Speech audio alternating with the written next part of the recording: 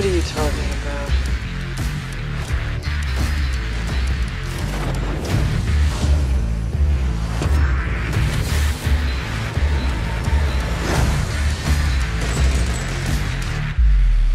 I wouldn't miss this for anything.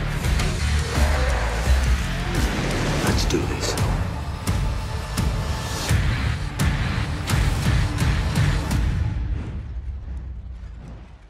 I think I'm gonna like it here.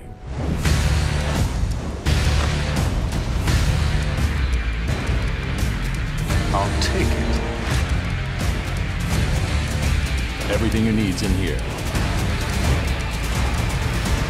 Don't you just love a happy ending?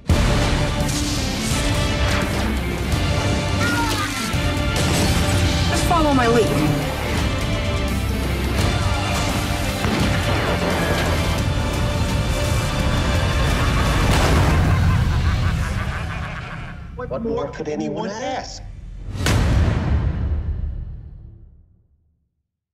Hey everybody, it's Charlie. We got a whole bunch of Titans, Young Justice, and this DC Universe stuff to break down. They released a whole bunch of information along with all this footage, so you get an idea for the other stuff besides the TV shows and the movies that's going to be launching with it. So if you're finding me for the first time, be sure to subscribe to get all the videos. There's a new round of the Flash Ring giveaway. I'll be sure to name a new winner at the end of this.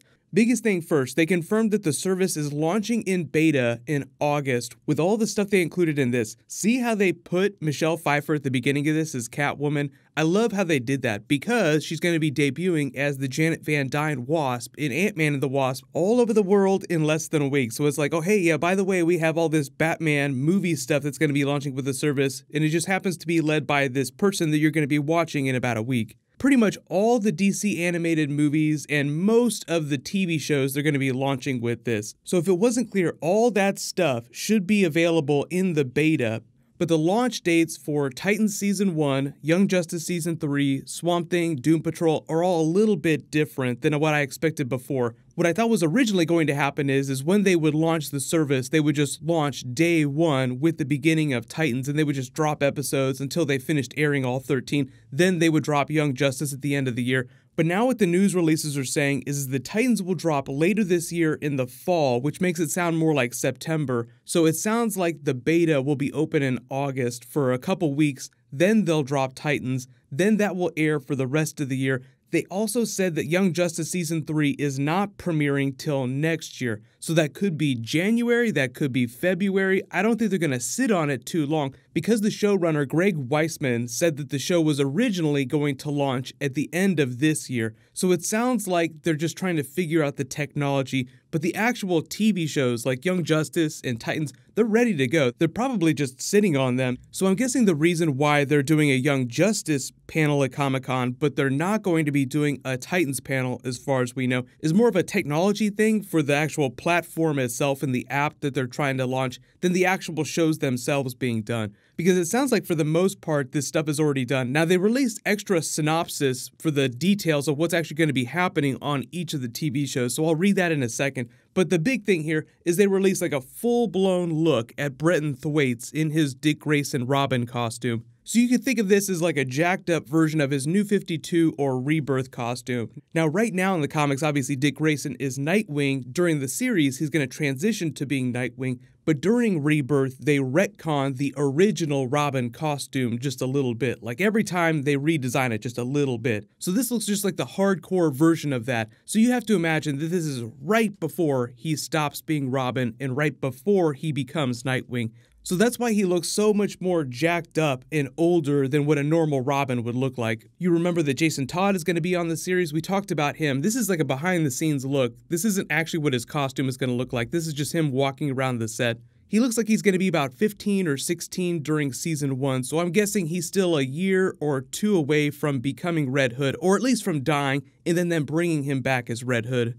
The new preview that they have for Young Justice Season 3 is just more of the lineup. We've seen these characters before. You have Blue Beetle, you have Bart in his new Wally looking costume. I know there are a lot of questions about Wally. Obviously, they're going to bring him out of the Speed Force at some point. But remember, there's 26 episodes in Season 3. They said that they're going to try and run for multiple more seasons. So you have to imagine that like 50, 70 plus episodes, we'll probably see a big arc where they try to bring Wally back. Standing next to him is Traci 13. She's a magic based character. Standing next to her is Arrowette. I know it kind of looks like Red Arrow, but I believe this is Arrowette. Then obviously you have Static in a brand new costume. You have the Cassie Sandsmark Wonder Girl. We're actually going to have Donna Troy on the live action Titans. This is what the actress looks like. This is a fan mock up of what her costume might look like too. But then obviously you have Tim Drake in his new costume, and then you have the Stephanie Brown spoiler. Good news is we have another like full-blown Young Justice season 3 trailer that's going to drop at Comic-Con. I'm assuming that they're going to post it online like they're posting this stuff online. So whatever they end up dropping, I will totally do a video for. No worries, I'll do a breakdown of their panel. The way they talk about the comics they're going to be unleashing on this Marvel Unlimited style is that it'll be a curated selection. Most of the pictures that they showed were just like the really, really big titles. So it sounds like we're just getting the really good stuff, then they'll add to that over time. But they'll have a longer confirmed list when we get closer to launch, and all that stuff will launch with the beta. What's happening later this year is they're going to be shooting the Doom Patrol TV show. I've already talked a little bit about that. It'll be a spin off of Titans. They're trying to get Kelsey Grammer to actually be the chief. So we might actually have a shot at a Kelsey Grammer Doom Patrol series. That just sounds surreal just to think about it. Kelsey Grammer doing a DC television show? That's crazy. If Young Justice is premiering at the beginning of next year, it sounds like Doom Patrol will launch right after that in the spring, then Swamp Thing probably next summer, then Titans Season 2 right after that. You get the idea, like one series premieres after the other one has finished its run. But here's the new synopsis that they released for Titans and Young Justice Season 3. It says Titans will follow young heroes like Robin and Rachel Roth, aka Raven, a young girl possessed by a strange darkness, as they take on a conspiracy to bring hell to Earth, which is basically the terror of Trigon, the Church of Blood, Brother Blood, trying to bring Trigon to our universe so they can consume it the same way you would see like Dormammu during the Doctor Strange movie. If you're not a big comic book reader, Trigon is kind of like a Dormammu type figure, the ruler of different dimensions. The way he's allowed to enter people's dimensions is, is by fathering a child with someone from that dimension the child serves as a mystical conduit that opens the barrier between dimensions for him. He enters that universe, slowly consumes it, takes it over, and then does it in another universe. So he just moves his way through dimensions, through the multiverse, doing that, having one child at a time. So you can see why they're sort of roping it off from the Arrowverse right now because they're not ready to get into Trigon and Raven in the Arrowverse. I'll talk about that in a second too, because people are like, are they going to put all the Arrowverse shows on this app? But the new synopsis for Young Justice Season 3 says that they're targeted by metahuman trafficking and an intergalactic arms race to gain control of new superpowered youths. So it sounds like new metas are manifesting all over the planet, and the light is trying to take advantage of them by collecting them all in the Titans or the Outsiders, as you want to think about them, because it's called Young Justice Outsiders, are trying to prevent that from happening. They actually do have a synopsis for that animated Harley Quinn TV show. It says that she and a bunch of her cast off friends are trying to earn a seat on the Legion of Doom. So the whole series is Harley Quinn trying to prove that she's badass enough to become a member of the Legion of Doom. They confirmed that Cyborg is going to be a part of the Doom Patrol TV series. Like I said, you know, Kelsey Grammer might be a part of that. So Kelsey Grammer and the Cyborg character, obviously it's a spin-off from Titans, so eventually Cyborg would probably join Titans in a future season.